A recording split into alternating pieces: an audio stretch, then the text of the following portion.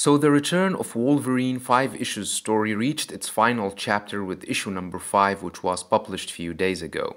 We last saw how Persephone revealed that she is a mutant with the power of bringing people back from the dead to follow her orders and instructions.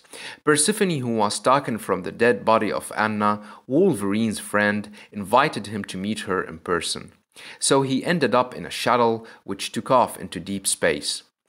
The final chapter opens with Wolverine meeting the mutant's hologram in her space station.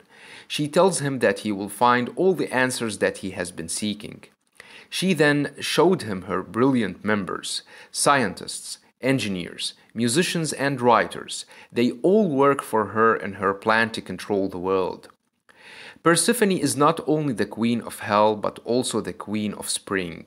She resurrects those who have special powers like Omega Red and Daken, the son of Wolverine.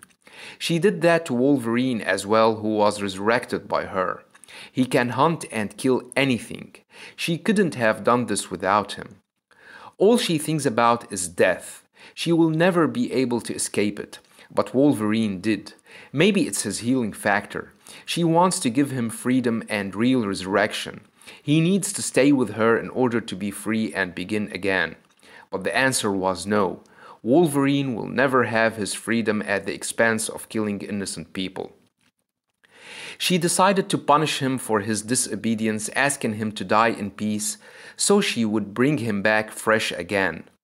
He broke free from the chamber before finding his way back to the station. He confronted the scientists and demanded to meet the one who can stop all this mess.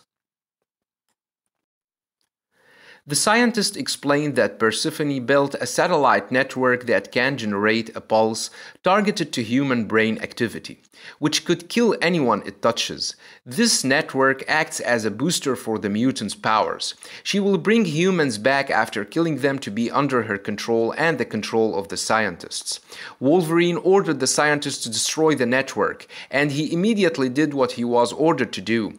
But Wolverine noticed that there was one last satellite left and that was their space station, which can also do what the other satellites can. But this station can't be shut down like the rest because it's controlled by Persephone herself, who knew about what Wolverine did, so she set the station on fire. On his way to prevent the ship from getting destroyed, Wolverine fought Persephone's drones. He managed to destroy them all before he was confronted by Persephone's hologram, which asked him not to stop her plans, because he will not be saving humans. She will never let him rest, as he will never know whether the people he meets are alive or dead. But that didn't stop him from shutting down the station, which was burned from entering the atmosphere. Wolverine, who was also burned but didn't die thanks to his healing factor, ended up in the sea where he was picked up by some sailors. The first thing he asked about was beer.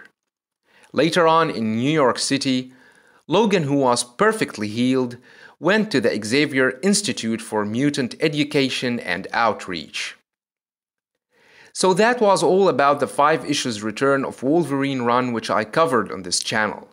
I like the Old Man Logan run more than this one, but would like to hear your thoughts about it. That was all for this video. Don't forget to subscribe, share, and like. Thanks for watching, and have a nice one.